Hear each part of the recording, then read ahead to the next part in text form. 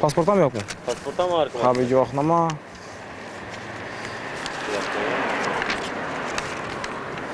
Bu davlat tasarrufuna ega transport vositasi, to'g'rimi? Xiva Jayxun qurilish mas'uliyati cheklangan jamiyatdan tegishlangan. Hava. Haydovchimiz tushadi. Siz bilasizmi shuni hujjatsiz boshqarish mumkin emas Arka ekan. maşında kaldı. Gaz elini de köyedim artık. Ha shu tushundim. Endi sizni axir Kelem mi abi? haydamasdan sizni o'ylanishingiz kerak-ku, hujjatlar boyoqliqona e'tiborli bo'lishingiz kerak-ku. To'g'rimi? Shaxsiz tasdiqdan hujjat bo'lmasa, sizni Xiva tuman ichki ishlar bilimini va shaxsiz aniqlanadi. Siz ma'muriy bayonnoma rasmiylashtiriladi. Avtomashinangiz vaqtida saqlab turish uchun jarimadan bo'ladi, yaxshimi?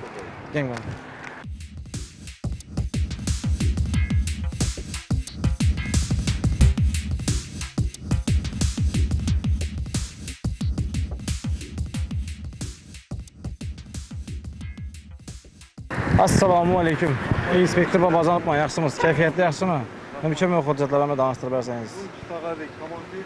sразу ko'raman vaqtingizni olmayman Arkadaştan kaçın muzdum tustağını. Ondan ben yönetim oldu. Hayo başka iş verip mi? Başka iş verip mi? bajaxon turish talonimiz qani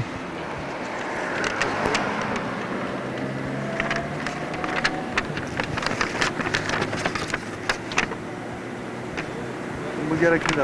yo'q. Bajaxon turish talonimizni bering Yok edin. Algı başında kal. Genç sabah girip tutayım. mashin gazdami? Qo'ying ankasini yukxonasini hurmatli haydovchi yo'l harakati qoidasining to'qqizinchi bendi talabini bajarmasdan xavfsizlik kamari taqmasdan boshqarib kelganligingizni to'xtatib turibmiz sizni. To'xtatib tekshirganda me'yoriy hujjatlaringizdan ogohlantirish talonisiz boshqarib yuribsiz haydovchilik guvohnomasi bilan. Tegishli hujjatlar yo'q yoningizda ogohlantirish taloni sizga nisbatan ma'muriy bayonnoma rasmiylashtiriladi avtomashina jarimadan olib boradi sababi me'yoriy hujjatingizda kamchilik bor ogohlantirish talonisiz boshqarib yuribsiz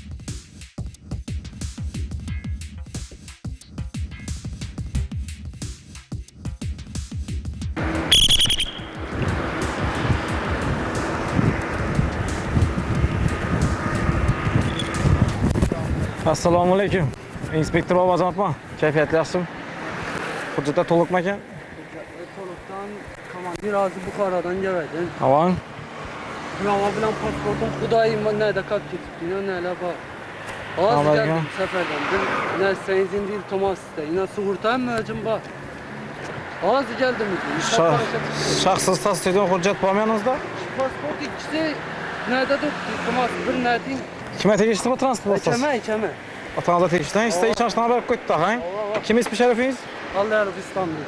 Algarov islombek ishonchnomangizdan muddat o'tib ketibdi ko'rdingizmi Şu iş takliman şu emme şin. 2015 yil İki gün 15 o'tdi, iki gün iyul kuni sizga ishonchnoma berilgan 3 yil muddatda to'g'rimi Şu iş emme şin takliman. keyin vaqt o'tib ketgan siz bilasizmi shu transport vositasini Bilaman, hujjatsiz bilaman. boshqarish mumkin emasligini Thomas şimdi bir bağla çağırınız var. Yine sat taraşa girip çıktık aldı. Azı Buxaradan gəldim ağa. Biləsən, nə tüklənmə işini taxlayıram. Hörmətli haydovchi, endi bu 2 gün tikdə tikdə dəyirsiniz. Siz yo'l harakati qoidasini 9-cu bəndi tələbini bajarmasdan, həbslik kəmər taxmasdan boshqa gap tutdingiz, hurmatli haydovchi. To'xtatib tekshirganda yoningizda tegishli hujjatlaringiz yo'q to'g'rimi haydovchilik guvohnomangiz ishonchnomangiz muddati o'tib ketgan Taklak koyarsın ismini. Takliman, takliman. Hem şey takliman. Bin takliman. Oldu oldu bir taklis. shaxsizni ichki ishlar bilimini borib shaxsiy aniqlanadi sizni hurmatli haydovchi sizga nisbatan ma'muriy bayonnoma rasmiylashtiriladi avtomashinangiz vaqtincha saqlab turish uchun jarima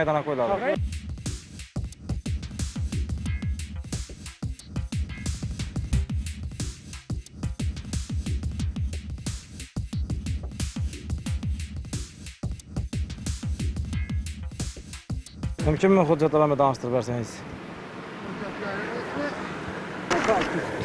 qolib ketdi shaxsiz tasdiqdan hujjat bormi fuqarolik pasport.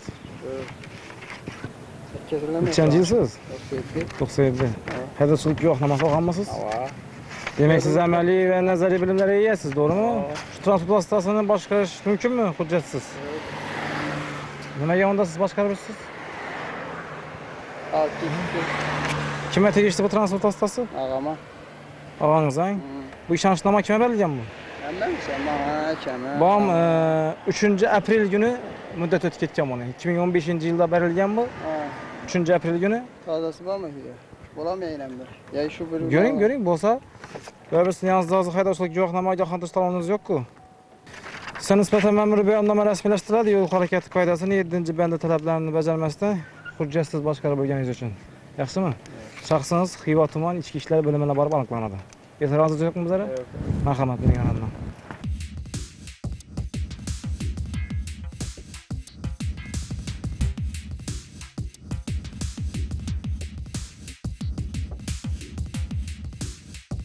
Masharif Mansurbek aka, Aman.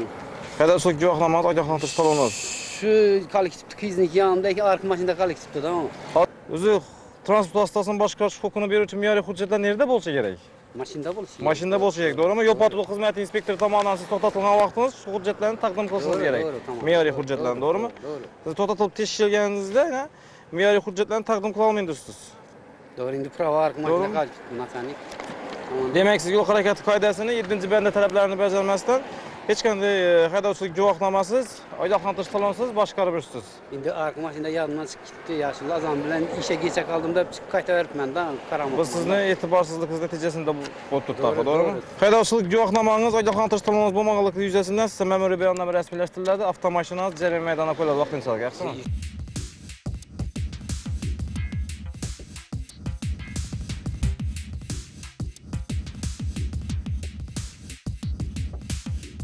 Haydovchining fuqarolik javobgarligini majburiy sug'urtalovchi polisning yo'qligi yoki amal qilish muddatining o'tganligi ham transport vositasining jarima maydoniga qo'yilishiga sabab bo'ladi tadbirlar davomida aksariyat haydovchilarga ana shunday qoidabuzarligi uchun ma'muriy bayonnoma rasmiylashtirildi Hurmatli haydovchi, majburiy sug'urta politsiyasi muddat o'tib ketdi. 2018 yil 3-iyul kuni o'tib ketdi.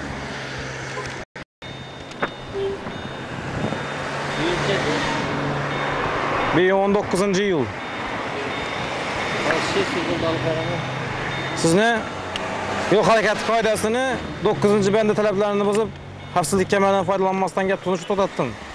To'xtatilib tekshirganda yo'l harakati qoidasini 7 bandi talablaridan buzib, tegishli hujjatsiz, ya'ni majburiy sug'urta polisi ham bu tegishli hujjat hisoblanadi. Tushundimmi? Tamam. Uchun bir. 2018 yil 3-iyul kuni majburiy sug'urta politsiyasi muddati o'tib ketgan.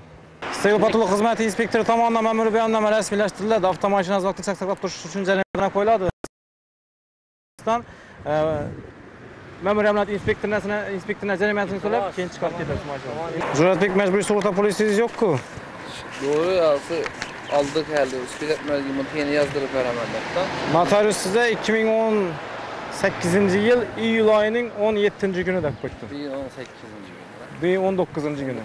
endi ikki kun o'tib ketgan siz majburiy sug'urta polisingizni уже olishingiz kerak edi majburiy sug'urta polisingiz boshqarish mumkin emas yo'l harakati qoidasini yettinchi band talabini buzib majburiy sug'urta polisingiz boshqarib turibsiz demak tegishli hujjatsiz tegishli hujjatsiz deganda shu majburiy sug'urta polisi ham me'yoriy hujjat hisoblanadi yaxshimi sizga nisbatan ma'muriy bayonnoma rasmiylashtiriladi avtomashina jarima e'lon qo'yiladi vaqtincha turish uchun Hurmatli haydovchi, yo'l harakati qoidasini 9-banda talabini bajarmasdan Tushunaman u gaplar. Qarshilik kamari taqmasdan boshqarib ketmoqchi uchun to'xtab tekshirib turibmiz. To'xtalgan to'xtab tekshirgan vaqtimizda sizni yoningizda majburiy sug'urta polisiyangizni amal qilish muddati o'tib ketgan.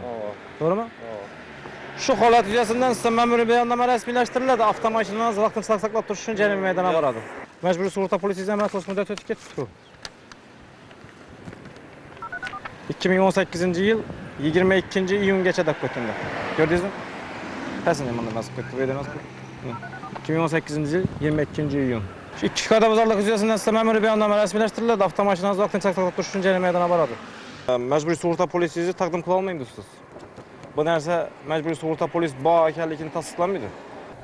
Majburiy sug'urta polisingizni taqdim qila olmaganingiz uchun hurmatli haydovchi, sizga ma'muriy bayonnoma rasmiylashtiriladi. Avtomashinangiz vaqtincha saqlab turish uchun jarima maydoniga boradi. Yaxshimi? Majburiy sug'urta polisingizni amal qilish muddati o'tib ketgan-ku.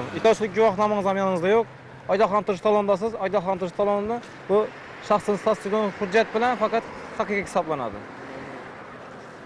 Shu qoidabuzarlik yuzasidan sizga ma'muriy bayonnoma rasmiylashtiriladi. Avtomashinangiz jarima maydoniga qo'yiladi.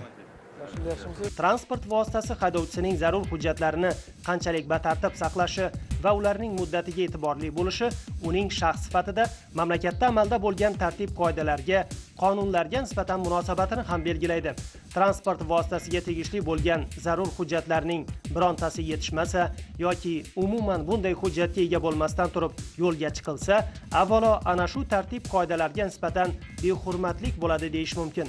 Bunday qoidabuzarlikka nisbatan javobgarlik mavjudligini bila turib harakatlanish haydovchiga ortiqcha chiqim ham bo'ladi mayli bir gap bo'lar qabilida tavakkal qilish esa ko'pda o'zini oqlamaydi Hech qanday hujjatingiz yo'qmi shu transport vositalarini boshqarish huquqini beruvchi? ay Man taqdim qildim. Shaxsiy tasdiqlovchi hujjat. Masharipov Anvar akang hech qanday hujjatingiz bo'lmaganligi sababli yo'l harakati qoidasining 7-bandi talabini bajarmasdan turganingiz uchun sizga ma'muriy bayonnoma rasmiylashtiriladi, hurmatli haydovchi. Avtomashinangiz vaqtincha saqlab turish uchun jarimadan bo'ladi, yaxshimi? Keling.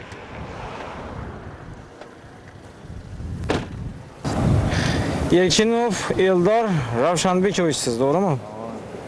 Transport vositasi texnik qaydnoma guvohnomasini bering. Geh, aşırı hüccətlərin nədir da? Haydalçılıq yoxlamaz, agahlandırışda olan var mı?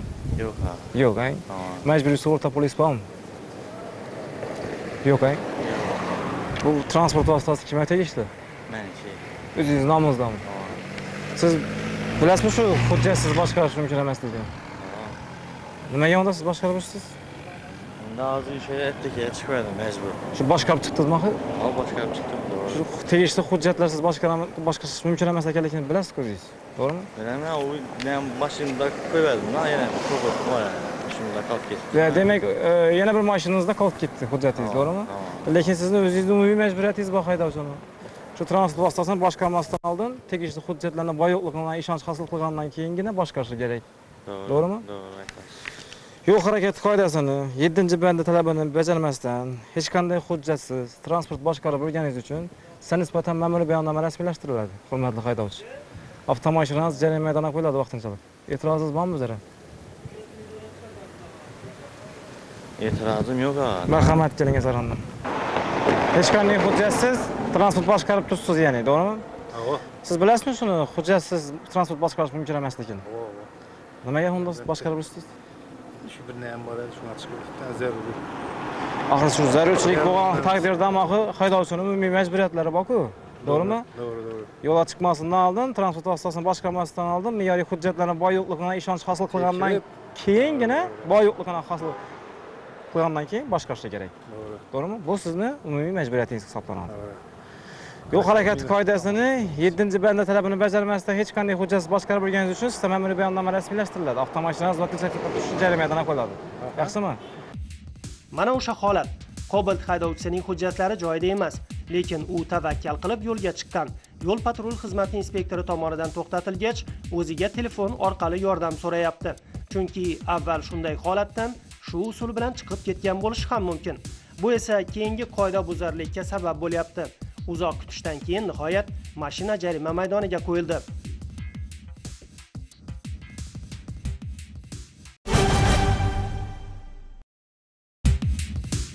Avval xabar qilganimizdek, mamlakatimizda tusi o'zgartirilgan, qoraytirilgan oynali yengil avtotransport vositalaridan foydalanishni tartibga solish chora-tadbirlari to'g'risidagi hukumat qarori qabul qilindi. Qarorga muvofiq 2018 yilning 1-avgustidan qoraytirilgan oynali yengil avtotransport vositalaridan pulli asosda foydalanishga ruxsat berildi. Buning uchun davlat yo'l harakati xavfsizligi xizmatidan 1 yillik ruxsatnoma olish lozim. Qoraytirishga ruxsatnoma berganlik uchun to'lov jismoniy shaxslarga eng kam ish haqining 90 baravari, yuridik shaxslarga esa 120 baravari va xorijiy davlat fuqarolariga 140 baravari miqdorida belgilandi. Lekin bugungi ko'rsatuvimizda hali bu qaror kuchga kirmasdanoq uni amaliyotga joriy etib, mashina oynalarini o'zboshimchalik bilan qoraytirib olgan yoki parda taqqan bir nechta haydovchiga nisbatan ma'muriy bayonnomalar rasmiylashtirilganligini aytib o'tmoqchimiz.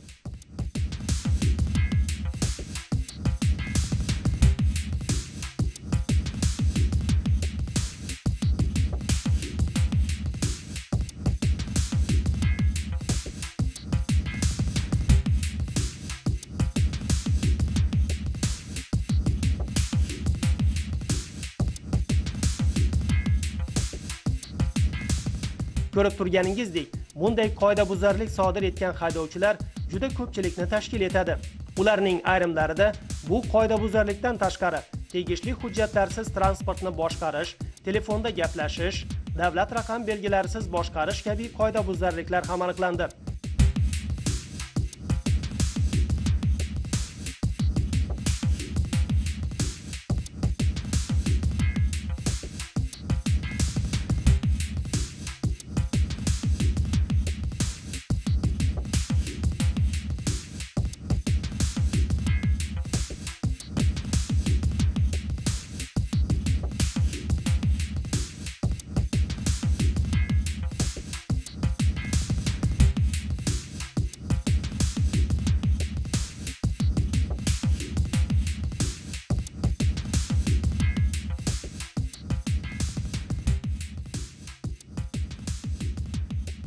Marabu damas avtomashinasi haydovchisi xuddi shunday qoidabuzarlik uchun javobgarlikdan qochish maqsadida mashinani qoldirib ketib qolgan. Transport vositasi xolislar yordamida ko'zdan kechirilib evakuatorda jarima maydoniga qo'yildi.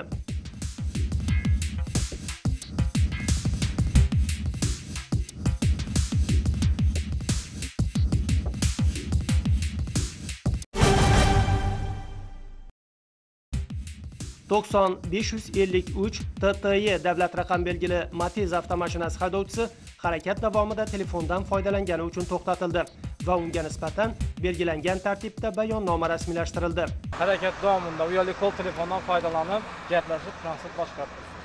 To'g'rimi? Soat bo'ldi telefonda gaplashishingiz? Girib to'g'ri aytdingiz shular.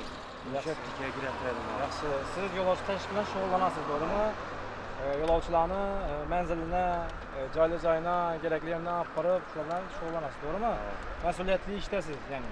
Siz e, namunali haydovchi bo'lishingiz kerak, to'g'rimi? Ertalabki yo'riqnomada sizda uyushmangiz mana shunday Dilruh Trans MCH, to'g'rimi?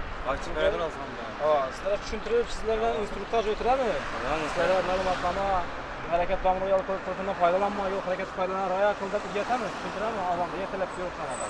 O'rgatadi. Shunga qaramasdan qoidabuzarlik ko'p ko'chadan chiqartiraylik-da.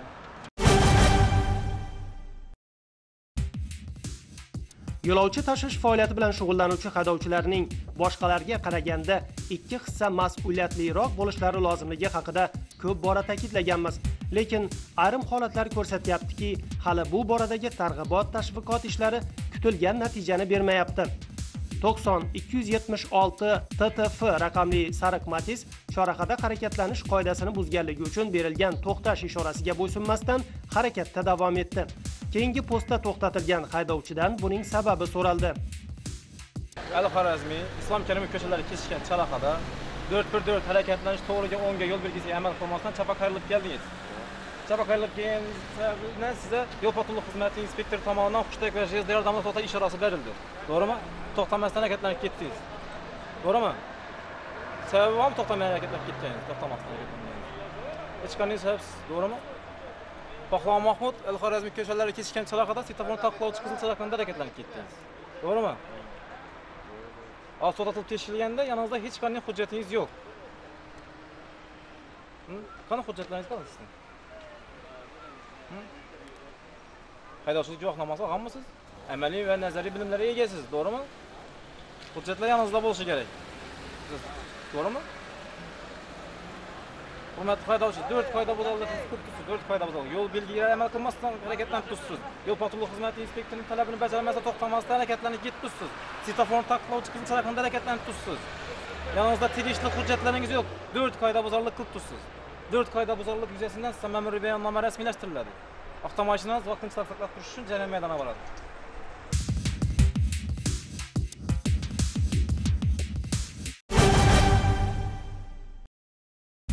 aslida qoidabuzarlikning katta kichigi bo'lmaydi biroq aynan bir turdagi qoidabuzarlik borki unga nisbatan biz beixtiyor qo'pol qoidabuzarlik iborasini ishlatamiz ha anglaganingizdek bu transport vositasini spirtli ichimlik yoki o'zgacha tarzda mast qiluvchi moddalar ta'sirida boshqarishdir. O'tkazilgan reyd tadbirlari davomida shunday qoidabuzarliklar ham uchradi. Xususan damas rusumli 90 117 ha raqam belgili avtomashina haydovchisi spirtli ichimlik iste'mol qilganlikda gumonlanib tibbiy ko'rikka taklif qilindi. Uzr so'radim Sırada to'xtatma Uzun so'rasa, qonunda yo'l bersin, kechasida yo'q-ku uzun so'rasa. Tekshiruv natijalari damas haydovchisi haqiqatdan ham spirtli ichimlik iste'mol qilganligini tasdiqladi to'qsonni ikki yuz ikki ea raqam belgili Nexia avtomobili haydovchisi ham tegishli hujjatlari yo'qligiga yetmagandek spirtli ichimlik iste'mol qilganligi aniqlandi. Bu haydovchiga nisbatan ham belgilangan tartibda hujjatlar rasmiylashtirildi.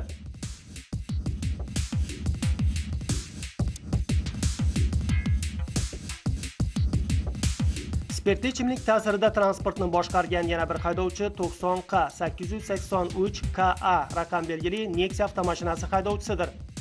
Nima. Pivo? Bir. Bir. Ushbu holat yuzasidan ham tegishli tartibda hujjatlar rasmiylashtirildi. Navbatdagi haydovchi o'zi boshqarayotgan transport vositasini vaqtida davlat ro'yxatidan o'tkazib, raqam belgisi olmagan. Boz ustiga spirtli ichimlik iste'mol qilgan. Bu holat tibbiy ko'rik davomida ham o'z tasdig'ini topdi.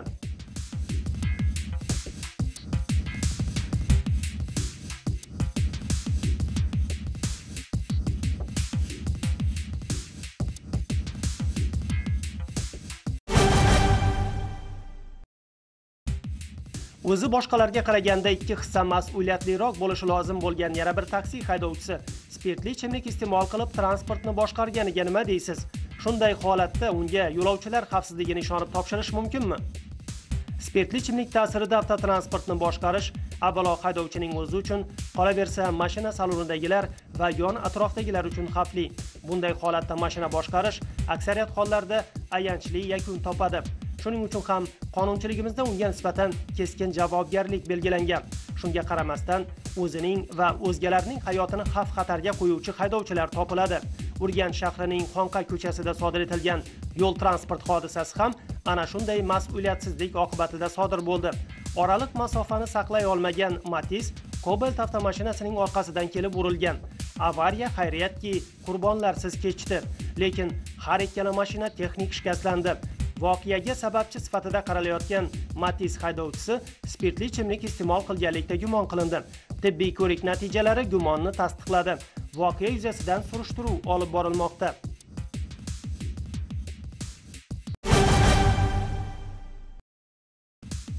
Xalqimizda birini ko'rib fikr qil, mingni ko'rib shukr qil degan naql bor. Bugun ko'rsatuvimiz orqali namoyish etilgan holatlar ham siz aziz teletomoshabinlarni fikr mulohazaga chorlashini, har biringizning harakat ishtirokchisi sifatidagi mas'uliyatingizni yanada oshirishini istar edik. Chunki bundan avvalo o'zingiz foyda ko'rasiz. Yo'l harakati qoidalarini buzganlik uchun to'lanadigan jarimalar, yo'qotilgan asablar, ehtiyotsizlik oqibatida xatarga qo'yilgan xavfsizlik bularni bartaraf etish va oldini olish o'z qo'lingizda. Buning uchun yo'l harakati qoidalariga rioya qiling va har doim mas'uliyat hissini unutmang. Hozircha xayr. Salomat bo'ling.